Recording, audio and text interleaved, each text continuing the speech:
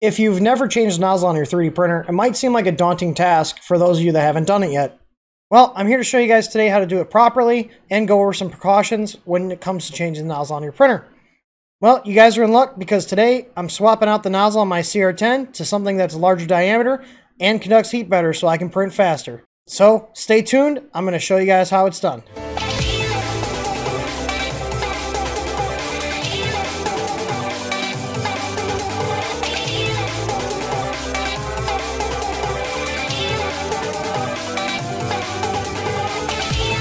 So the first thing we're going to need to do is get our nozzle out of the way of everything else on the machine. I usually like to have mine in the center and then I'll push my bed towards the rear of the printer. And then I'm going to now move my Z up so I have room to work between the nozzle and the build plate. On your machine, you can press the menu button, go to prepare, move axis, move Z, and move 10 millimeters. So I'm going to have this move up, and I would say give yourself about 100 millimeters to 150 if you have the Z height. This is on a CR10, so I'm going to take this up so I have some room to work on here. So I'm going to let this raise, and then I'll come right back. So I have my Z moved up, so I have plenty of room to work between the nozzle and my build platform. The next thing to do is heat our nozzle to a temperature of 240 degrees Celsius. To do this, press the menu button again, go back up to the higher level menus, and then if you're running our firmware, you can go to preheat ABS and select preheat ABS end. This will set your nozzle to 240 degrees Celsius. So I'll let this get up to temperature and then we'll come right back. So now we have our hot end at 240 degrees Celsius. I'm ready to swap the nozzles. Now, if we look at our hot end setup here, you can see I have a silicone sock on the block. Now, since we're working on the hot end, I recommend you be very careful because this is very hot. This is at 240 degrees Celsius. I usually will grab my silicone sock with a pair of needle nose pliers to expose the heater block. Now, this is a volcano style heater block. You can tell that by the heater going vertically instead of horizontal. But all these are the same idea. You have your heater block, your nozzle, and then above here is the heat break that connects it to the heatsink in the upper portion. What we want to do is make sure this heater block does not turn when we're replacing this nozzle. Now on some of your Creality machines or similar hot ends, they actually have two screws, one on either side of the nozzle, that prevent the heater block from rotating. And if you have one of those, you actually do not need to hold the heater block in place. Just make sure you actually have the two screws in place. But on this machine, I do not have those in place, so there's a couple of things we need to do. One, we have to be mindful of our thermistors. If you notice on this particular block, our thermistor is on the left-hand side. Your printer may have it on the left or right, but you can identify the thermistor by the little leads right here. You can see right here the thermistor wires, and there's a little retaining screw. Your hot ends are usually set up like this with a retaining screw and then these clear PTFE lined wires to go down to the thermistor. We want to make sure we do not hit these with our pliers. In addition to the thermistor lines, we have our heater lines, which are right here coming into this printer. On your other ones where the thermistor and the heater are horizontal, they'll usually be right next to each other. And you got to make sure that you don't hit either the heater wires or these wires because this has to be done while it's hot. You'll need to figure out what size socket you need to fit onto your existing nozzle. This is a volcano style nozzle and they usually use a 7mm socket. As you can see here, the 7mm fits quite well. Now, once we're swapping these out, we want to work quickly because as we put this socket on the hot end, the temperature is going to drop. And if you have proper firmware on your printer, it could trigger thermal runaway. So you need to work quickly so you don't trigger the runaway. If your printer triggers thermal runaway, then restart the printer, set the temp again, and resume where you left off. I'm going to put my socket onto my driver here, and then take my larger needle nose pliers here to hold the block, making sure I don't grab the thermistor wire. and then work quickly.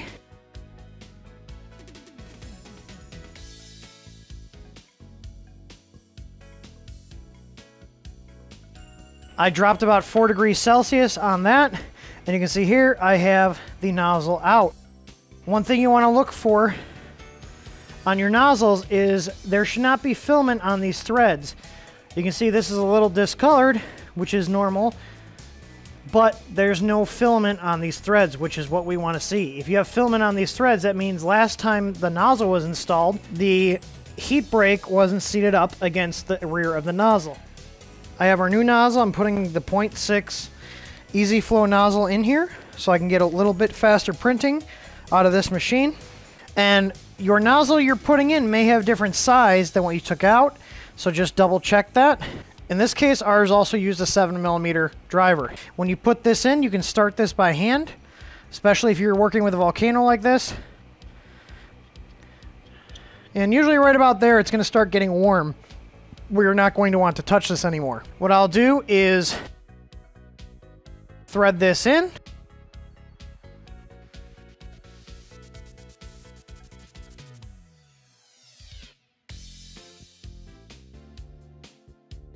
And you can see the heater blocks wanting to turn. So at this point, you're going to need to grab the heater block, make sure again not to hit any wires, and tighten the nozzle down. Now, when you're using these copper nozzles, you don't want to apply a ton of force because you can actually damage the nozzle or even shear it off in the block.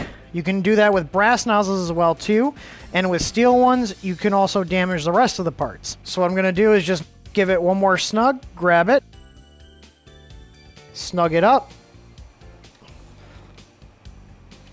If your hot end was originally assembled correctly and you bought the correct nozzle to go in your hot end, there should be a tiny gap between the nozzle and the heater block here, like we see, once the nozzle is fully in.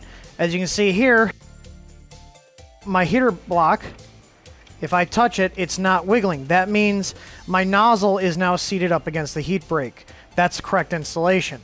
If for some reason your heater block is wobbling, you'll need to disassemble the hot end further to thread the heat break into the block more so you can close the gap between the back of the nozzle and the heat break. There should not be any gap between the nozzle and the heat break. But if you order the correct size nozzle for your machine, it should just be a direct replacement like this. At this point, I'll usually feed some filament in manually, just to make sure I'm getting flow through it.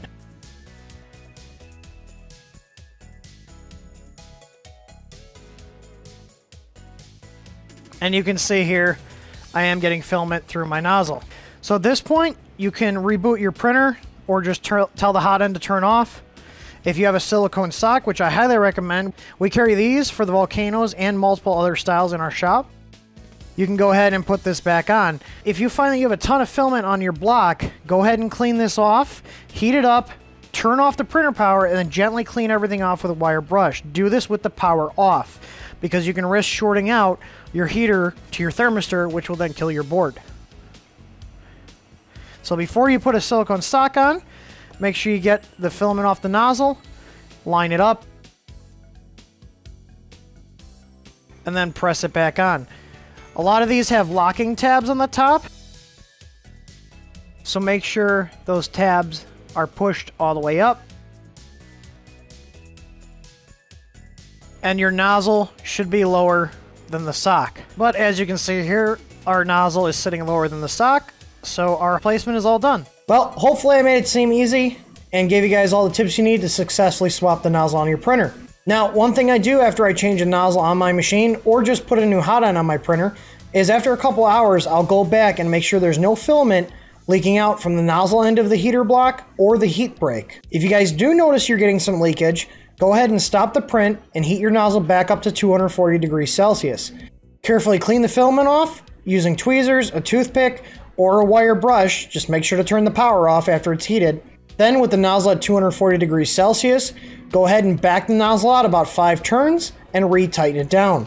One thing to check is if you have a PTFE lined hot end, like what comes on the stock Creality machines, is make sure that PTFE tube is all the way into the hot end because the end of that PTFE tube needs to contact the very back of the nozzle in order to form a tight seal. If there's not a tight seal and the PTFE is not cut flat, you're going to have issues. Now, there's a couple of fixes to get around that if you do have this problem. There's a guy by the name of Luke who goes by the handle of OneBadMarine and I'll put a link in the video description where he has made this awesome fix that forces the PTFE all the way into the hot end with the exact length you need to cut.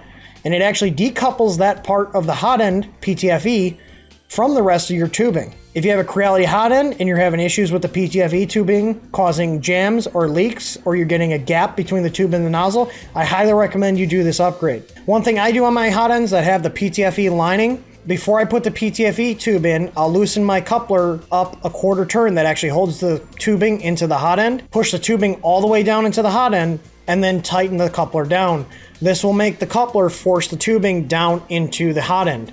You guys also might be wondering, well, why would I want to replace my nozzle? Most of your printers come with a brass nozzle that's a 0.4 millimeter diameter size, and you might want to replace your nozzle for a number of reasons.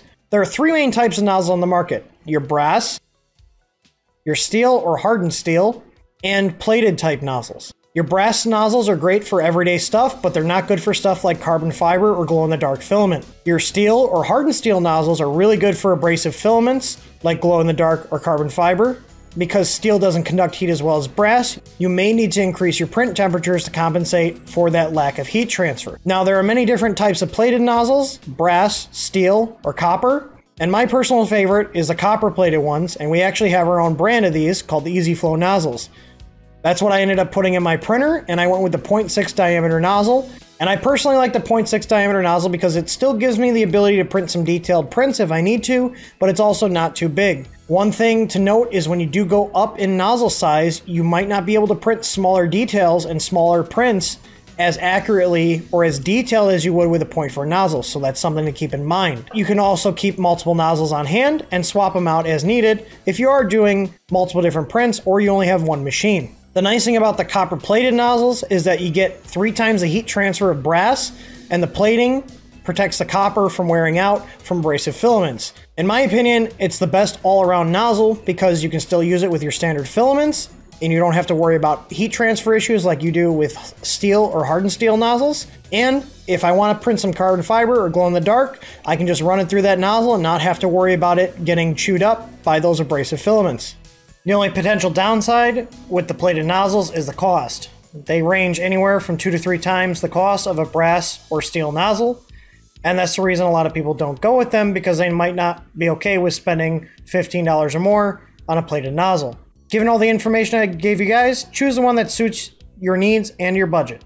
If you're not going to be printing abrasive filaments, then just stick with the brass nozzle. We actually carry all three types of nozzles in our store, brass, steel, and the copper plated nozzles. So if you guys want to check out any nozzles, we carry them for most major hot ends, including Crealities, V6s, and Volcano types. And that's all there is to it. I hope the information was helpful. I hope the video showed you guys how to quickly swap your nozzle and covered all the points to make sure you don't mess anything up. I'm gonna go print something big on my CR10 now that I got that new nozzle installed. So I'll see you guys later, and as always, happy printing.